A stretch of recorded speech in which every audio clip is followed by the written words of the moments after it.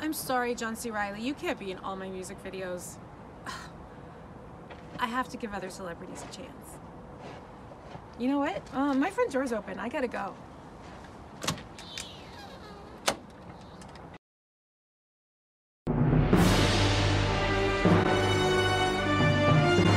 Dr. Evil!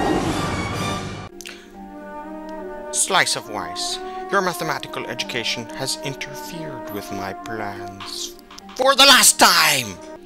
I have created an army of evil Zambonis with frickin' lasers.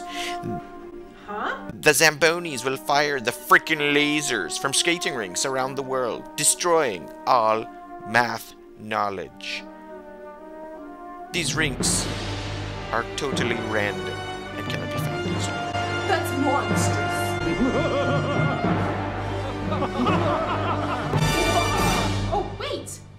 I'm gonna stop you! And what are you going to do? Make another rap video?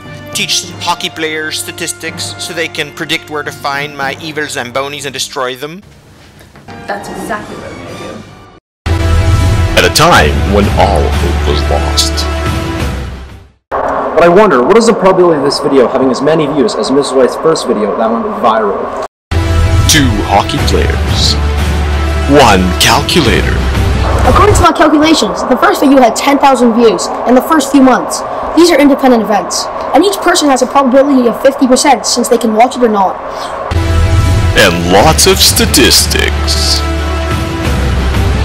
So the probability of the same 10,000 people viewing this video is half to the power of 10,000. Wow, that's a small number. Sorry, Miss Weiss. Looks like we're going to have to start from scratch.